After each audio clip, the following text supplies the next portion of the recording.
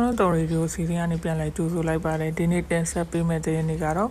ချင်းပြည်ဖွဲ့စည်းပုံအခြေခံဥပဒေပေါ်ပေါက်လာရေးနဲ့ချင်းလန်းကောင်စီညီနိုင်ရေးအတွက်ချင်းပြည်ညီလာခံကိုကျင်းပခဲ့ပါတယ်အဲဒီညီလာခံကိုချင်းဒေသကာကွယ်ရေးတပ်ဖွဲ့တွေကအားကောင်းတဲ့ CDF လီဖွဲ့ကမတက်ရောက်ပဲကန့်ကွက်ခဲ့ပါတယ် ချင်းပြည်နယ်ချင်းလုံမြို့မှာချင်းပြည်ကောင်စီရဲ့ပထမဆုံးအကြိမ်စုဝေးကိုချင်းပြည်ဖွဲ့စည်းပုံအခြေခံဥပဒေကိုအတည်ပြုပြီးတပတ်နီးပါးအကြာကောင်စီဝင်83ဦးနဲ့ကျင်းပခဲ့ပါတယ်။အဲဒီစုဝေးမှာချင်းပြည်ကောင်စီလုပ်ငန်းရဲ့နေရာနဲ့မိုင်တိုင်3ရက်ဖွဲ့စည်းနိုင်ရေးအတွက်လုပ်ငန်းစဉ်တွေနဲ့လုပ်ငန်းလမ်းညွှန်တွေကိုရေးဆွဲအတည်ပြုခဲ့ပါတယ်။စီရေးအရှိန်မြင့်လာပွဲရှိတဲ့ကလေးမျိုးကပြည်သူတွေရဲ့ဆိုရင်တော့ကားဆိုတဲ့သတင်းဆောင်ပါကိုလည်းနားဆင်ကြရမှာဖြစ်ပါတယ်။ ထမအောင်ဆုံးတင်ဆက်ပေးမယ့်သတင်းကတော့ချင်းပြည်ဖွဲ့စည်းပုံအခြေခံဥပဒေပေါ်ပေါက်လာရေးနဲ့ချင်းလန်းကောင်စီဖွဲ့စည်းနိုင်ရေးအတွက်ချင်းပြည်ညီလာခံကိုကျင်းပခဲ့ပါတယ်။အဲဒီညီလာခံကိုချင်းဒေသကာကွယ်တပ်ဖွဲ့တွေကအားကောင်းတဲ့ CDF လေးဖွဲ့က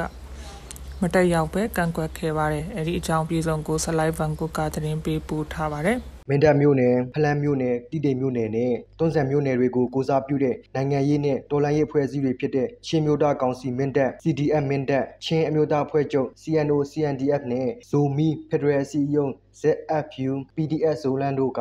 အဲ့ဒီညီလာခံကိုတက်ရောက်မှာမဟုတ်ဘူးလို့ဒီဇင်ဘာလ9ရက်ကပူးတွဲထုတ်ပြန်ပါတယ်။ ကမ်ပလက်မြို့နယ်ကောင်စီ CDF ကမ်ပလက်ကတော့အစုအဖွဲ့တွေအားလုံးပါဝင်လာရေးအတွက်ညီလာခံကိုစောလင်စွာမခေါ်ဘဲစိုင်းငံ့ထားဖို့တဘောထားပေးပို့ခဲ့ပြီးနောက်ညီလာခံကိုမတက်ရောက်နိုင်သေးတဲ့အကြောင်းတည်တံ့ထုတ်ပြန်ခဲ့ပါတယ်။အခုညီလာခံနဲ့ချင်းလန်းကောင်စီဖွဲ့စည်းရာမှာချင်းမျိုးသားတပ်ဦး CNF CNA တဖွဲ့တဲ့ကလွှမ်းမိုးချေလဲထားပြီးမျှတမှုမရှိတဲ့အတွက်မပါဝင်ခဲ့တာလို့ချင်းမျိုးသားဖွဲ့ချုပ် CNO CNDF ကာကွယ်ရေးဌာနအတွင်းရေးမှူးမိုးစစ်ချမ်းကပြောပါတယ် CNF ရဲ့သူဆွဲထားတဲ့ constitution ကျူးချင်းရောဒီချင်းလက်ကောင်စီဖွဲ့ထားမဲ့ drafting ပေါ့နော် drafting မှာလုံးဝတရားမျှတမှုမရှိတဲ့ခါကျတော့သူရဲ့လွှမ်းမိုးချေလေမှုအောက်မှာပဲတွားရမယ့်ပုံစံတွေဖြစ်တဲ့ခါကျတော့ဒီမိုကရေစီစံနှုန်းနဲ့လည်းလုံးဝမညီဘူးပေါ့နော်အဲ့ဒါကြောင့်မလို့အဓိကကျွန်တော်တို့ညှိတယ်အဓိကတော့ချင်းပြည်နယ်ရဲ့ကောင်းကျိုးကိုပထမရှေ့ရှုတာမဟုတ်ဘဲနဲ့လေအဖွဲ့တစ်ဖွဲ့ရဲ့ကောင်းကျိုးကိုပဲသူတို့ကရှေ့ရှုပြီးတော့လုပ်တာဆိုတော့ကျွန်တော်တို့အားလုံးဒီချင်းပြည်နယ်ကိုအားလုံးအာချင်းလူမျိုးတွေကိုသူတကွာနဲ့ကောင်းကောင်းမွန်မွန်နဲ့ကျွန်တော်တို့ဒီ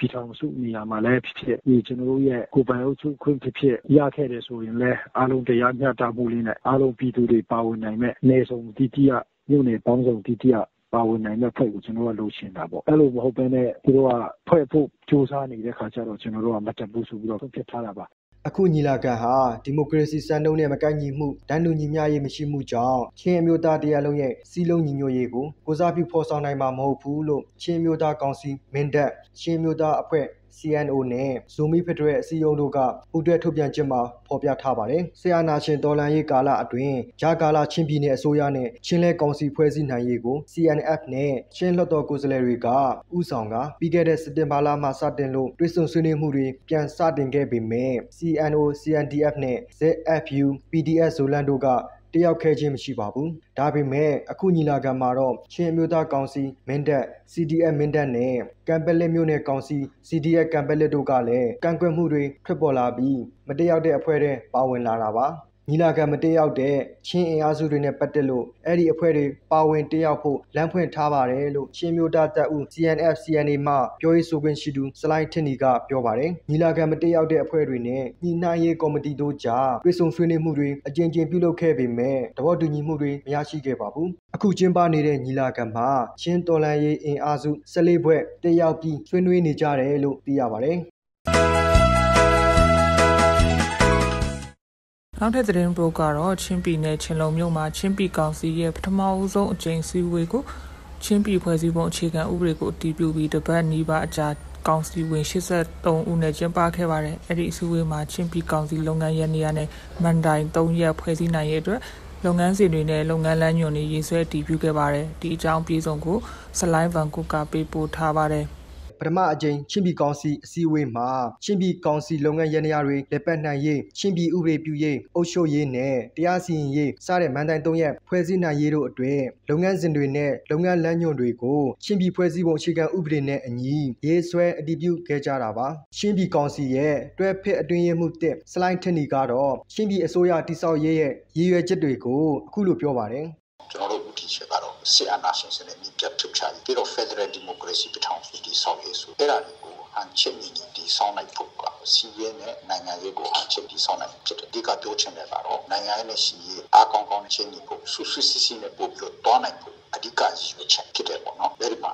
ကျွန်တော်တို့ဒီချင်းပြည်ကောင်စီချင်းလဲကောင်စီကနေမှာတစ်ဆင့်တို့အနာကကျွန်တော်တို့ Federal Democracy ပြည်ထောင်စုတည်ဆောက်ရေးအထိကျွန်တော်တို့တက်ကကျွန်တော်တို့လိုချင်တဲ့တက်ကဆိုရထွက်လာတဲ့အထိဆက်လက်ပြီးတော့တည်ဆောက်တော့ဖို့တည်ဆောက်တော့ဖို့ဖြစ်ပါတယ်ချင်းအမျိုးသားတိစောက်ရေးနဲ့ချင်းပြည်တိစောက်ရေးလုပ်ငန်းတွေဖော်ဆောင်ရမှာတော်လိုင်းရေးအပိသက်အောင်နိုင်ရေးအတွက်ပြည်တွင်းပြည်ပကချင်းတမျိုးသားလုံးအနေနဲ့ချင်းပြည်ကောင်စီနဲ့အတူလက်တွဲပူးပေါင်းပါဝင်ကြဖို့တိုက်တွန်းထားပါတယ်။ချင်းပြည်ကောင်စီကနေတာဝန်ခံမဲ့ချင်းပြည်လွှတ်တော်ချင်းပြည်အစိုးရအဖွဲ့နဲ့ချင်းပြည်တရားလွှတ်တော်ချုပ်တို့ကိုလည်းရပောင်း60အတွင်းမှာဖွဲ့စည်းသွားမှာဖြစ်ပါတယ်။ချင်းပြည်ကောင်စီနဲ့ချင်းပြည်ဖွဲ့စည်းပုံအခြေခံဥပဒေကိုပထမအကြိမ်ချင်းပြည်ကောင်စီညီလာခံကနေဒီဇင်ဘာလ6ရက်ကအတည်ပြုပြီးနောက်ချင်းပြည်အုပ်ချုပ်ရေးရန်တရားတွေလက်ပတ်နိုင်ဖို့ချင်းအင်အားစုတွေအလင်းအမြန်ကြိုးပမ်းနေကြတာဖြစ်ပါတယ်။ချင်းပြည်နယ်အုပ်ချုပ်ရေးကိုမြို့နယ်နဲ့ဒေသကိုဒန်းတူတက်မှတ်ပြီးအုပ်ချုပ်မှာဖြစ်တယ်လို့ချင်းပြည်အစိုးရနဲ့ဒေသန္တရာအစိုးရများအဖြစ်အလွှာနဲ့ထားရှိမှာဖြစ်ပါတယ်။စစ်ရေးကိုတော့အစိုးရအဖွဲ့ကာကွယ်ရေးဝန်ကြီးဌာနအောက်ကနေ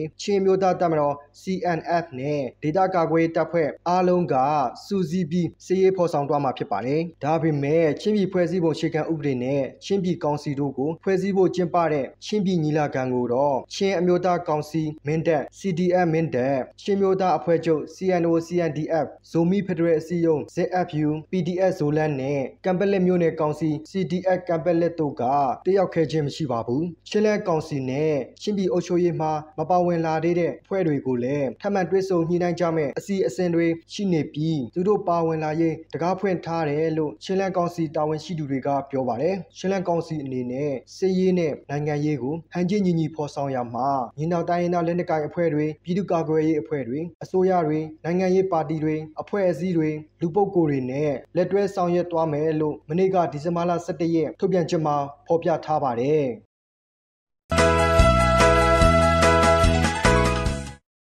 နောက်ဆုံးတင်ဆက်ပေးမယ့်သတင်းကတော့စီးရီအခြေအနေမြင့်မလာဖွယ်ရှိတဲ့ကလေးမျိုးကပြည်သူတွေရဲ့စိုးရင်တော့ကားဆိုတဲ့သတင်းဆောင်ပါတွေကိုတင်ဆက်ပေးသွားမှာဖြစ်ပါတယ်။ချင်းတောင်ချီကကလေးမျိုးဟာစီးရီကြောင်ချင်းပြည်မြောက်ပိုင်းကဒေသခံပြည်သူတွေဒါမှမဟုတ်ကလေးမျိုးတမူးမျိုးနယ်ကဒေသခံစစ်ဆောင်တွေဝင်ရောက်ခိုးလုံလေးရှိတဲ့မြို့တစ်မျိုးဖြစ်ပါတယ်။စစ်ကောင်စီတပ်ဖွဲ့နဲ့ပြည်သူ့ကာကွယ်ရေးပူးပေါင်းတပ်ဖွဲ့တွေဟာမြို့ပေါ်ထက်ကျေးလက်ဒေသတွေမှာသာတိုက်ပွဲအများစုဖြစ်ပွားလေးရှိတာကြောင့် စစ်ဖြစ်ပွားရာဒေသကပြည်သူတွေဟာကလေးမြို့ပေါ်ကိုထွက်ပြေးတေးရှောင်လေးရှိကြတာပါမြို့ပေါ်မှာလည်းပြစ်ခတ်မှုတွေရှိပေမဲ့ကျေးလက်ဒေသတွေထက်ကြီးမားတဲ့စစ်စင်ရေးတွေမရှိသေးတာကြောင့်ကလေးမြို့ပေါ်ကိုလာရောက်ခိုးလုံလေးရှိကြပါတယ်ဒါပေမဲ့ကလေးမျိုးမှာစီးရိတ်စင်းငွေတွေရိုက်ခတ်လာမှုကြောင့်အရင်ကစစ်ရှောင်းတွေခိုလုံရာနားခွေရာမျိုးတစ်ခုဖြစ်ခဲ့တဲ့မျိုးဟာအခုအခါမှာတော့ကလေးမျိုးမှာနေထိုင်ကြတဲ့ပြည်သူတွေဟာလည်းမြို့ကိုစွန့်ခွာပြီးတင်းရှောင်သူတစ်ဖြည်းဖြည်းပိုများလာနေတယ်လို့သိရပါတယ် အကြောင်းကတော့ကလေးခရိုင်ပြည်သူ့ကာကွယ်ရေးတပ်ဖွဲ့ကကလေးမျိုးမှာစီးရေးအရှိန်မြင့်တင်တော့မှာဖြစ်တာကြောင့်စစ်ကောင်စီတပ်ဖွဲ့တွေတက်ဆွဲယူထားတဲ့နေရာအနီးမှာနေထိုင်ကြတဲ့မိဘပြည်သူတွေအနေနဲ့ဒီဇင်ဘာလ15ရက်နေ့နောက်ဆုံးထားပြီးရှောင်းတိန်ကြဖို့နိုဝင်ဘာလ26ရက်နေ့ရက်စွဲနဲ့ကြေညာချက်ထုတ်ပြန်ခဲ့တာကြောင့်လို့ဆိုကြပါတယ်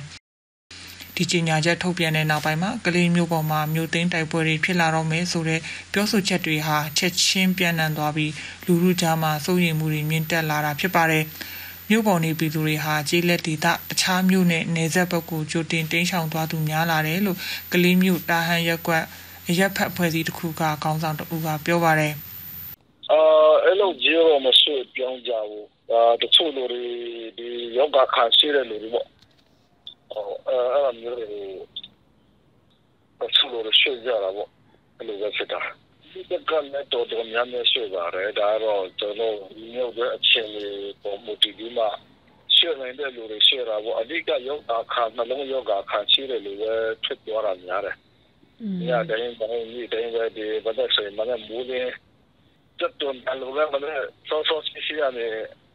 ငါလိုက်ငါလိုက်လို့ အကြည့်ရတော့အာတော့တော့တဲ့လူတွေထွက်သွားတာပေါ့ကွာတချို့လူတွေအိန္ဒိယကတော့နိုင်တဲ့ပရာအများရတယ်လေအဲတချို့လူတွေကတော့ဒီကပ်တဲ့တော့တော့လူတွေရှိတယ် ကကလေးမျိုးဟာရက်ကွက်ပေါင်း19ရက်ကွက်ထဲနဲ့ဖွဲ့စည်းထားပြီးအိန္ဒိယမြန်မာနယ်စပ်ကုန်သွယ်ရေးလမ်းကြောင်းပေါ်မှာတည်ရှိတဲ့စီးပွားရေးအချက်အချာတဲ့မြို့တစ်မြို့လေးဖြစ်ပါတယ်။မြို့နယ်လူဦးရေ၄သိန်းလောက်ရှိပြီးဗမာနဲ့ချင်းလူမျိုးအများစုနေထိုင်တဲ့မြို့ဖြစ်ပါတယ်။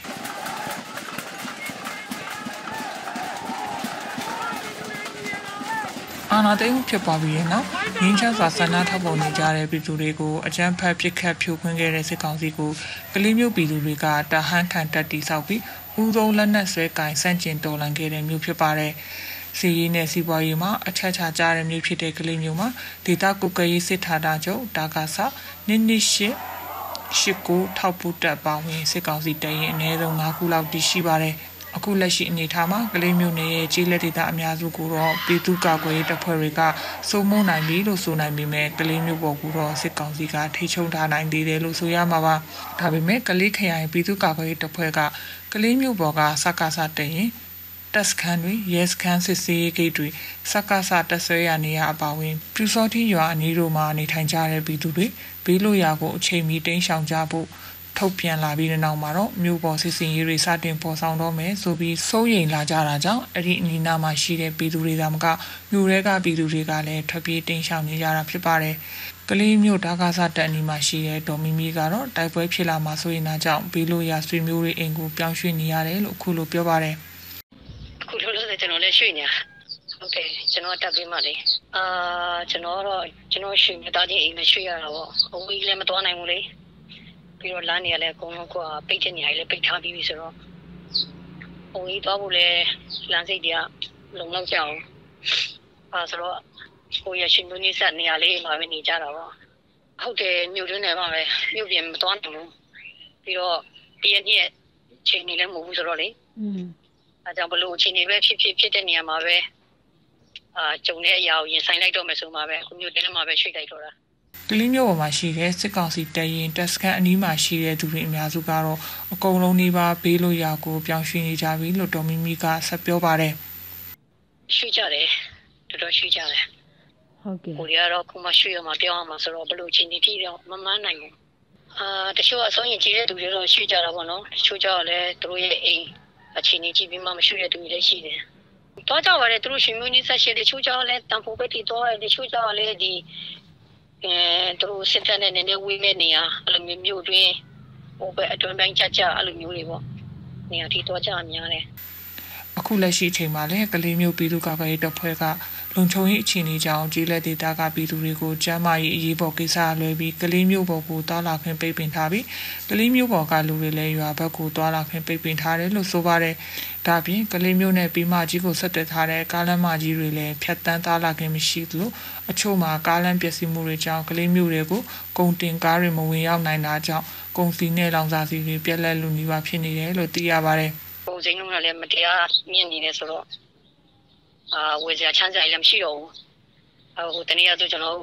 ကိုကပြေးမယ်ရှိမယ်ဆိုတော့ကလေးလည်းပါတယ်ဆိုတော့အာ6ချမ်းလေးတွေအဲခောက်ချက်6လေးတွေပါလေးတော့ဝယ်ရတော့မှမရှိတော့ဘူးအဲ့လိုမျိုးအထုပ်ကလေးတွေ၄၅ထုပ်နား၄၅ထုပ်ဒီနား၄၅ထုပ်နဲ့အဲ့လိုပဲစုရတော့တာ